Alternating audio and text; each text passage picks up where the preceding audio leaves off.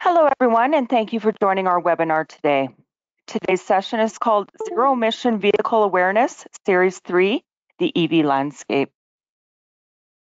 My name is Danielle Fisher, and I am the Lead Event Manager for Eco Canada, and I will be moderating this webinar today. Before we start, there are a few housekeeping guidelines for today's session to ensure that everyone can enjoy and participate in the webinar effectively. All participants are muted, so please check your audio settings to ensure that you can hear us properly. If you're experiencing any technical issues, please use the question box and select Eco Canada, the organizer, and I will do all that I can to resolve the issue. Today's webinar is being recorded and will be made available on demand to you within the next 24 hours. Everyone who registered for the webinar will receive an email with a link to the video. Any questions that you have about the presentation or today's topic can be submitted through the chat box or question box. We will have dedicated time after the presentation to answer any questions from the audience. Finally, we really want to know what you think about our webinars and how we can keep improving. You'll be sent a short survey after the webinar ends. Please let us know what you think or if you have any comments or suggestions about the webinar. I'd like to introduce Calvin Leckelt, Program Manager at Municipal Climate Change Action Centre, Sustainability Services at Alberta Municipalities. Calvin joined the Municipal Climate Change Action Centre in Alberta Municipalities in 2017 and currently leads the Action Center's renewable energy, energy efficiency, and electrical vehicle re related rebate programs for municipalities across Alberta to reduce energy use and emissions. Over to you, Calvin.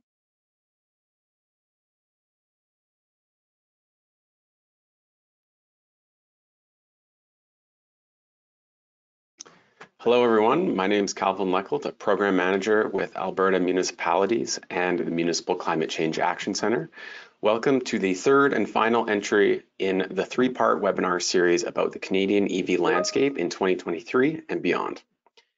These webinars have been developed and are being presented by the Municipal Climate Change Action Centre on behalf of Eco Canada with funding support from Natural Resources Canada's Zero Emission Vehicle Awareness Initiative. We recognize and appreciate NRCan's support in making these, this webinar series a reality. Before we begin, we'd like to make a land and treaty acknowledgement. This presentation is being delivered from Edmonton, Alberta on Treaty 6 territory.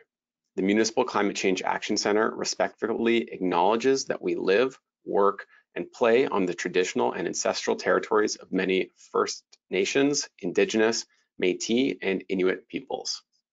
We recognize that what we call Alberta is the traditional and ancestral territory of many peoples, presently subject to treaties 4, 6, 7, 8, 10, and the six regions of the Métis Nation of Alberta. We respect the courageous and resilient community leadership of Indigenous peoples of all ages, knowledge keepers, and elders who are still with us today and whose uh, and those who have gone before us. We make this acknowledgement as an act of reconciliation, gratitude, and commitment to pursuing an inclusive, collaborative, and respectful path towards building strong communities. For those who are not familiar with the Action Centre, we were established in 2009 as a collaborative initiative between Alberta municipalities, formerly the AUMA, the rural municipalities of Alberta, and the government of Alberta. The Action Centre provides funding, technical assistance, and education to Alberta municipalities, nonprofits, and schools in addressing climate change, including a variety of electric vehicle initiatives for municipal governments. Since 2009, we've managed a variety of programs that have made a significant impact throughout Alberta, including work with 389 unique participants to complete 839 projects catalyzing 158 million in energy cost lifetime savings. As for Eco Canada, Eco Canada's vision is to build the world's leading environmental workplace. Eco Canada seeks to help environmental workers succeed at each step of their career journey. To do this, Eco Canada has developed several programs tailored to individuals at different stages of their careers. To learn more, you can visit Eco Canada's website at eco.ca. Looking at this webinar's agenda, there are seven key topics that we will be addressing. First, transportation emissions in Canada, the pillars of EV uptake, EV policy in Canada, EV adoption rates, government and manufacturer targets, EV incentive programs in Canada, and Canada's advantages in the EV transition. Environment and Climate Change Canada determined that 24% of Canada's emissions come from the transportation sector, making it the second highest emitting sector in the country after oil and gas. Tackling transportation emissions is a significant challenge in Canada's goal to be net zero by 2050. There are a variety of solutions that are needed to overcome this challenge, including broad electrification of transportation, uh, uh of, of passenger and freight transportation, expanded public transit, active transportation, increased urban density, and more. All of these transportation modes are needed, but for this presentation, we're only going to focus on electric vehicles as a means of reducing transportation emissions. So this graph shows the breakdown of emissions in a variety of transportation modes that has a clear overall uptrend since 1990. Decreasing emissions in each category is an ongoing challenge, particularly in the heavy duty, rail, aviation, and marine applications where electrification is more challenging.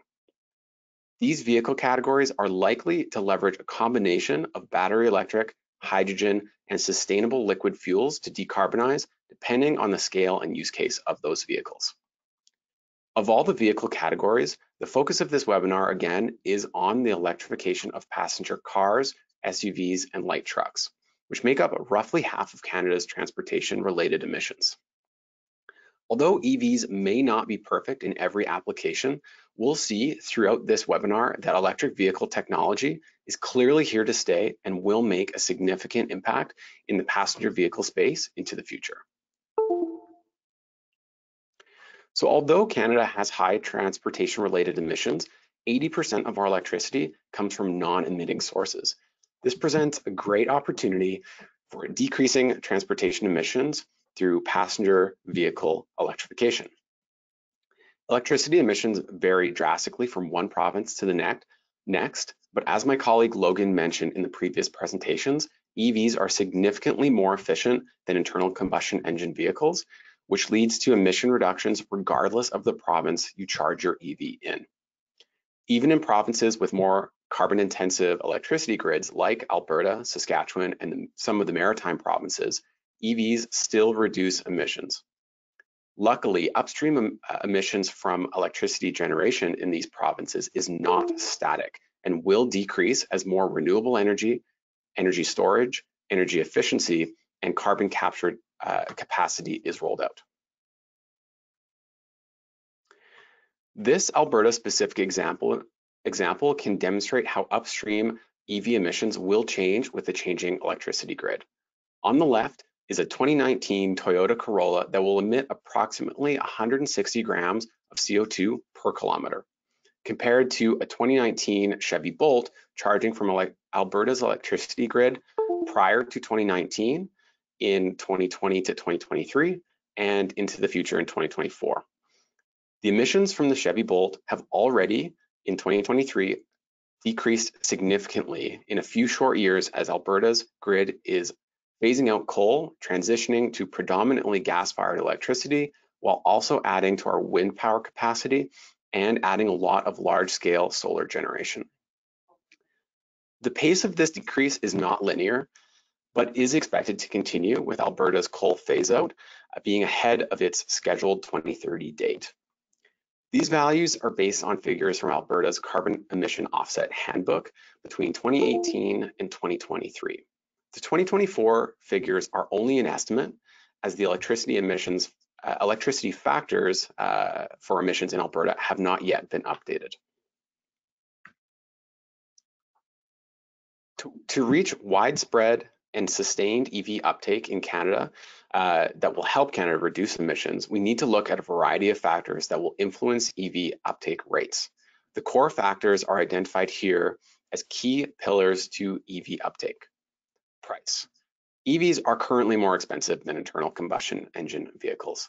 a competitive upfront cost to complement the lower operating costs is needed while manufacturers can achieve scale and drive prices down to equivalent or below internal combustion engine vehicle prices. This is where provincial and federal rebate programs can really help. Supply. EVs use batteries uh, that the batteries themselves use a variety of metals and minerals. The supply chains for these materials is still growing, so vehicle supply is more limited compared to internal combustion engine vehicles. This is where policies like provincial or national sales mandates support to ensure there are vehicles available for consumers and in greater quantities in the future. Charging infrastructure. So charging infrastructure is still being deployed across the country. There are certainly still gaps that can delay and suppress demand for EVs. The lack of access to charging infrastructure will certainly impact uptake targets. Demand. Demand is outweighing supply, at least in Alberta. Uh, despite the high upfront costs, despite the infrastructure gaps, and despite market education still being in its infancy. And finally, education. Education initiatives are being rolled out, but general market education still needs to grow with misconceptions corrected, which is a goal of this webinar series. A strategy for each pillar is needed for widespread adoption, and government policy will influence, influence each of these pillars. The federal government in Canada is actively pursuing action on all of these pillars, as we'll see throughout this webinar. So to understand the EV landscape currently and where it's going, we need to understand the EV related policy in Canada. Much of that policy is included in the federal government's 2030 emissions reduction plan. One of the key policy pillars is the light duty vehicle sales mandate to reach 100% of new sales being zero emitting by 2035. This is an ambitious target that will drive significant change towards EVs, bring in more supply, kickstart the used EV market, and should bring downward pressure on prices. The 2035 target is paired with interim milestones that we'll cover in an upcoming slide. The sales mandate will be paired with a credit compliance system for automakers and is scheduled to come into effect in 2026. The 2030 emissions reduction plan also includes targets of reaching 35% of medium and heavy duty vehicle sales being zero emitting by 2030. This is not a sales mandate at the moment, only a target. That being said, also included in the plan is a commitment to develop a medium and heavy duty vehicle zero emission uh, vehicle regulation that will require 100% uh, zero emission vehicle sales by 2040, but only for a select subset of vehicle types based on feasibility. Rebate funding is available for vehicles, charging infrastructure, and education initiatives, and we'll look into these uh, in a bit more detail in an upcoming slide. Tax incentives are also available for all businesses that manufacture zero emission technologies. So in December 2022, the government of Canada announced uh, proposed regulations that set zero emission vehicle sales targets for new light duty cars, SUVs, and trucks. The regulation will require that at least 20% of new vehicles sold in Canada will be zero emission by 2026, at least 60% by 2030, and 100% by 2035. The intent of the sales mandate is to ensure manufacturers and vehicle importers are providing access to electric vehicles for Canadians.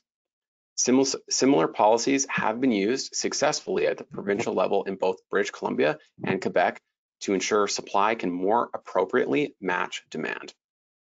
Prospective EV drivers in provinces without sales mandates have experienced several year long wait times and artificial price fixing from dealerships due to low supply and high demand.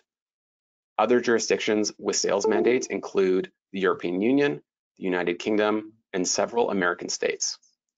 The sales mandate will certainly help make progress towards these targets, but are we on track to meet these targets currently? Well, uh, as of Q3 2022, just over 70,000 battery electric vehicles were registered in Canada, representing 6.1% of all registrations.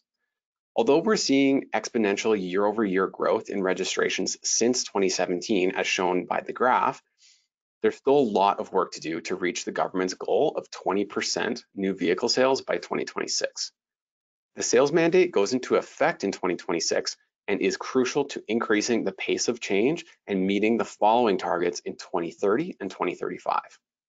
This graph does not show any stats from plug-in hybrid vehicles, uh, and although it, the, the graph does not show quarterly stats from Alberta, Nova Scotia, and Newfoundland and Labrador, EV registrations from these jurisdictions are included in the national totals. So some jurisdictions have had sales mandates and other EV-friendly policies in place for several, several, year, several years and are seeing much higher adoption than the national average. For example, in BC, electric registrations reached 13% of all new vehicle sales from Q1 to Q3 in 2022. Other market watchers are expecting to see near 20% registrations for the fourth quarter of 2022 in BC. So this shows that a combination of policy and incentives can accelerate the adoption of EVs and that jurisdictions that were early movers will likely reach many of the national interim targets well in advance of other provinces. A national approach will certainly help those other mm-hmm. provinces catch up. And again, this graph does not include any stats from plug-in hybrid vehicles. With plug-in hybrid vehicles, the electric share during the same time frame actually increases to 15.6% of all registrations. So it's clear that EV uptake is not consistent from one province to the next. This was also evident in the first provincial and territorial zero emission vehicle scorecard completed by Electric Mobility Canada and partners in 2022. This scorecard measures progress based on EV specific policies and programs that impact price, supply, demand, charging infrastructure, and education. Many of the same, which are all many of the same pillars uh, of uptake that we described previously. Most provinces fall into the getting started or building momentum categories, with BC being a global leader and Quebec not being far behind. Many of the federal government's policies, uh, as shown in the previous slide, are aiming to bridge this gap. So we covered what the government is doing in regard to EV policy, but how does that compare to the world's largest vehicle manufacturers? Well, this table shows the light duty EV models available in Canada from the biggest automakers. Those near the top of the table have a variety of options currently and have more models on the way in 2023 and 2024. There are clear leaders in this table, while several other big name companies are still lagging behind. But really, governments are not the only ones setting ambitious EV targets as you'll see from this table, the biggest manufacturers are setting targets to sell EVs as large portions of their product lines, ranging from 40 to 100% of sales between 2030 and 2035. This includes three of the top four brands in Canada with GM, Ford, and Hyundai. So shifting gears into funding opportunities, there are a variety of funding opportunities available federally and provincially across Canada. Based on the attendance from previous webinars in this series, we will cover funding opportunities available federally and some that are specific to Alberta. So starting on the left with vehicles, the Incentives for Zero Emission Vehicles program, or IZEV, is a point of sale rebate at the dealership it does not require an application or funding agreement to get started and is specifically for light duty passenger vehicles uh, with rebates up to $5,000 per vehicle. Budget 2022 actually topped up the IZEV program with another 1.5 billion in new funding. Next is the incentives for zero uh, for for medium heavy duty zero emission vehicles. Again, another point of sale rebate uh, for vehicles like garbage trucks up to $200,000 per vehicle. And for municipal governments in Alberta only, the Municipal Climate Change Action Center offers the Electric Vehicles for Municipalities program, which can actually stack with the other two federal programs. Uh, and in the context of a passenger vehicle, uh, a municipality could receive up to $19,000 off uh, each new light duty fleet vehicle. As for infrastructure, most uh, the most notable program is the $400 million plus zero emission vehicle infrastructure program from Natural Resources Canada. NRCan also provides a portion of funding to delivery organizations uh, that run EV charging programs at the local level. So some of these delivery organizations include ourselves with our electric vehicle charging program, Green Economy Canada, Pollution Probe, and more. And finally, with education, NRCan runs the Zero Emission Vehicle Awareness Initiative,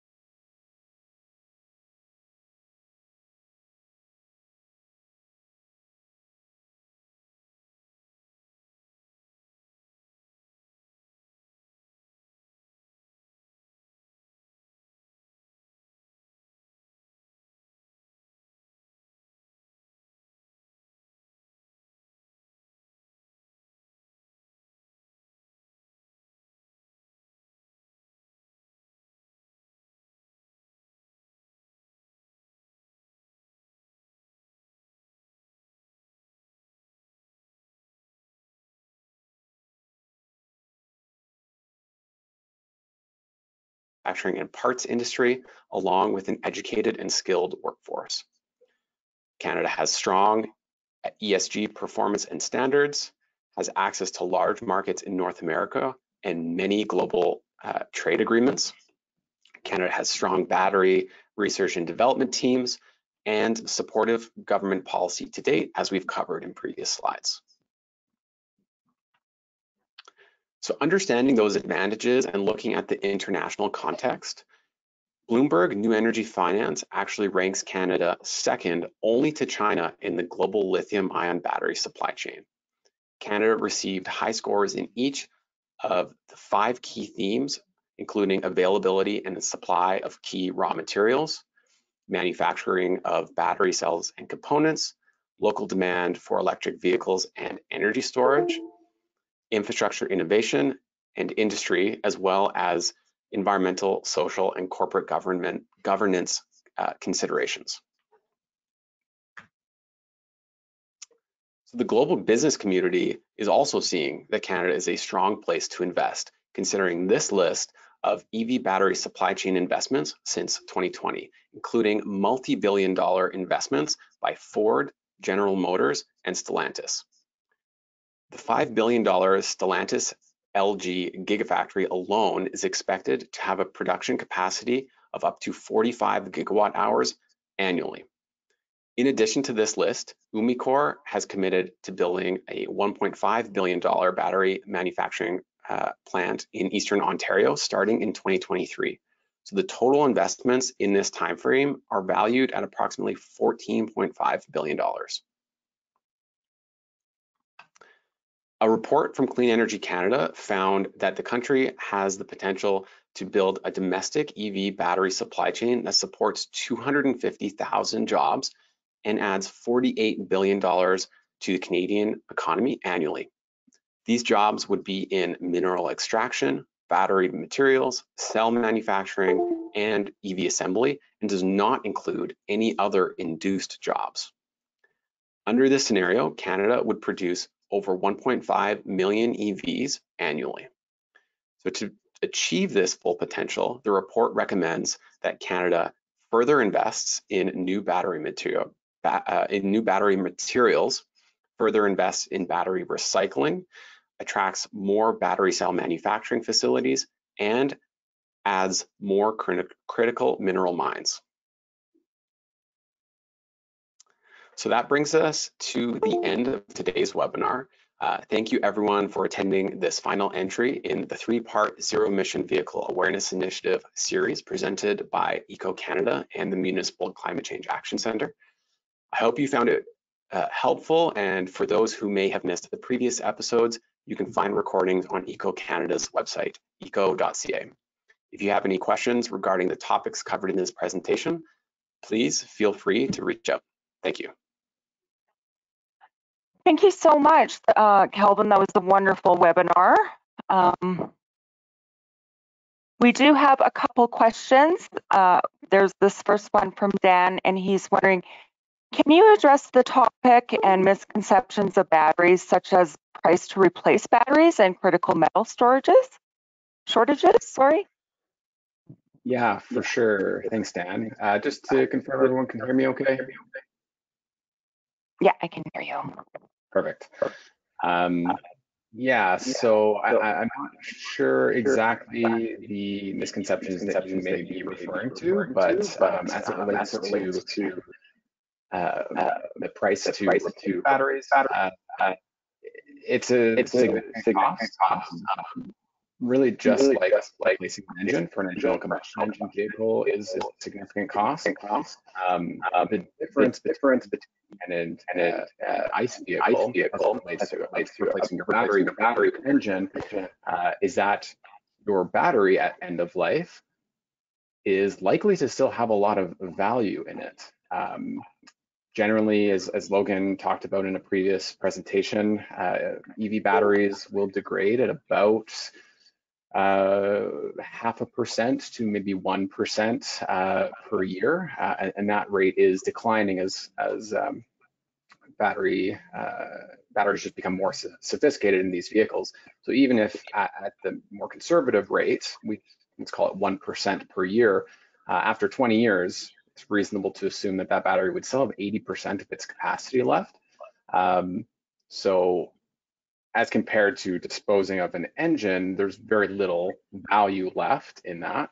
Um, so I would anticipate as the market becomes a little bit more uh, mature and, and, sophisticated that there'll become more options for uh, replacing that battery or, rather disposing of that battery um, that might not be just immediately recycling it. Maybe it's repurposing that battery for uh, other use cases outside of the vehicle. So uh, hopefully that trickles down to uh, the end consumers uh, to provide a little bit of relief uh, in situations where they may need to uh, replace the, the battery in their vehicle. And as it relates to critical met, metal shortages, um, yeah, you're right. That's definitely something that's taking place right now. Um, that is limiting the capacity of the supply chain to, to match demand. Um, that being said, uh, and I touched on this a little bit in the in the presentation, um, there's quite a bit happening in North America, at least from a policy standpoint, that will actually bring a good amount of investments to um, to North America and and Canada specifically, that will help uh, you know develop more mines that can bridge that critical metal uh, supply gap.